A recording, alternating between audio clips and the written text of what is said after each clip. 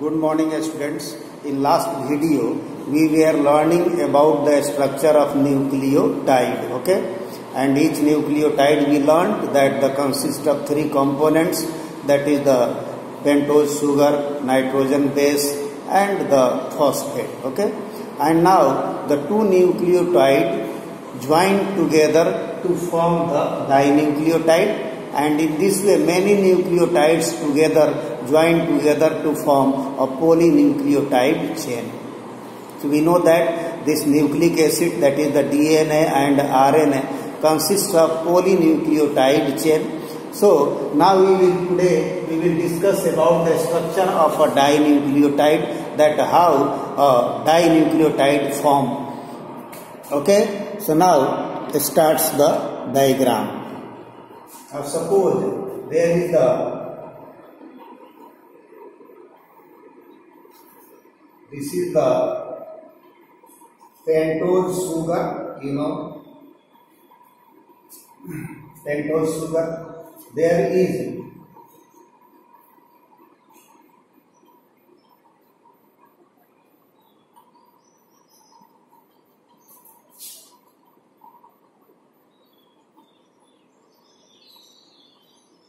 This is the nitrogen base. Double ringed structure means purine base. Suppose any one either adenine or guanine. This is the purine base. Now at the ninth position we know there is the NH group found. Suppose this is the NH group. And now this is the carbon and there is the OH. Suppose this is the H group. And now it forms the bond there is the bond. This is the glycosidic bond. Now you can see that the, there is forms the this this is the loss of a molecule of water. Loss of water and forms the N glycosidic bond or linkage. Bond or linkage also we can say. So by the loss of there will be the bond between this carbon and nitrogen. So carbon, first carbon joins with the ninth position of the purine base. Okay. Now we will talk the, now suppose this is the another sugar. This one is the another sugar. And this is the fifth carbon, first carbon now there is the CH2OH. Okay, CH2OH. There is also uh, OH group. There is also OH group. This is H. H. There is also H. Suppose this is deoxyribose sugar.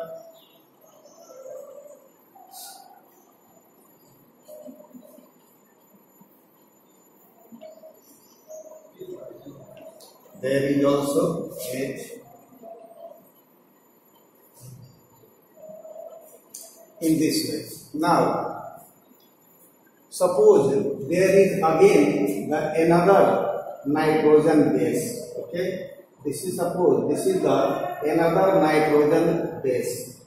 Suppose this is the pyrimidine means the single ringed structure, six membered structure. Suppose this is the pyrimidine base and suppose this is the first carbon. At the first carbon, uh, first position, at first carbon, this is suppose this is the first position and at the first position there is the NH group. This is NH group and now it again join with this hydrogen. Now you can see there will be also a loss of water. That is the loss of water. And it forms the N glycosidic bond. Yeah linkage.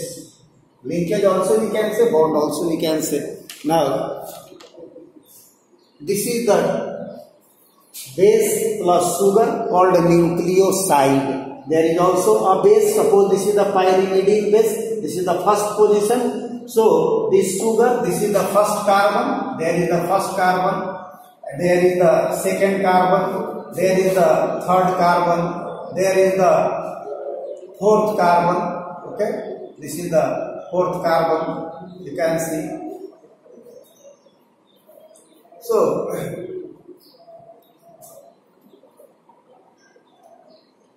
there is also the first carbon, second carbon, third carbon, fourth carbon, there is the fifth carbon, there is also this is the fifth carbon you can see. So, now this is the nucleoside. Sugar plus base is called the nucleoside and this nucleoside formed by this glycosidic bond by the loss of a molecule of water and we know that the purine base attaches with the first carbon of sugar at this ninth position. This nitrogen present at the ninth position and forms the glycosidic bond. And in the pyrimidine base pyrimidine bases like the thymine or cytosine they are single ringed or monocyclic structure or six membered structure. Suppose this is the first position. At first position there is the NH group that take part in the formation of this glycosidic bond. Now, this two, this is also a nucleoside, this is also a nucleoside. Suppose this is adenine and now this is the sugar, means the adenosine. Likewise, suppose this is the thymine and sugar. So this is the thymidine, likewise. And now, these two nucleosides attached by a phosphate to form a nucleotide. Okay. So now here I am writing. Suppose this is the phosphate. There is the OH. There is also the OH. There is also OH. And now this is oxygen. There will be also a bond form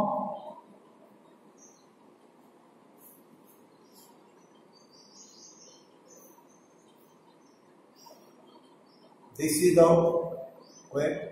There will be also a loss of a molecule of water. The bond formation occurs here also. And now you can see there is also the bond formation. It means the two bond, there will be also one bond, there will be also one bond. So this bond are called the phosphodiester bond.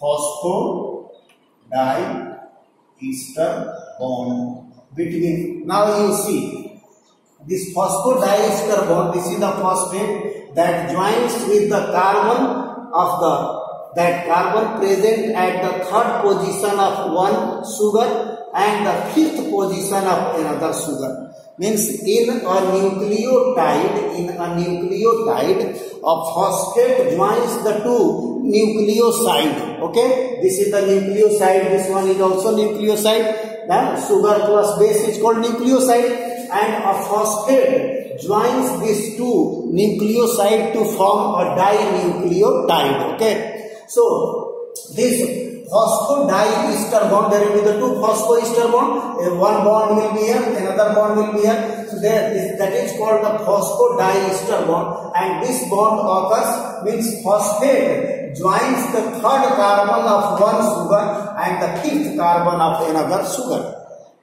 Third carbon of one sugar and the fifth carbon of another sugar. So this phosphodiester bond formed by the loss of these two molecules of water, diester bond, is two ester bond form and which carbon take part in the formation of this phosphodiester bond with the phosphate. So third carbon of one sugar and fifth carbon of another sugar and it forms a dinucleotide. Means the two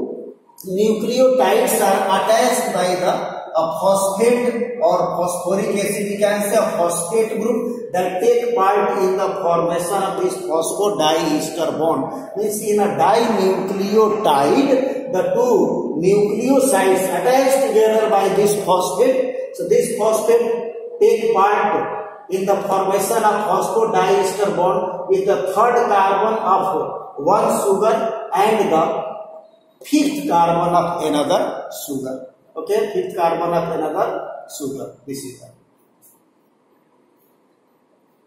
So, in last video we learned about the nucleotide and now today we learned about the dinucleotide. Okay, dinucleotide. Thank you.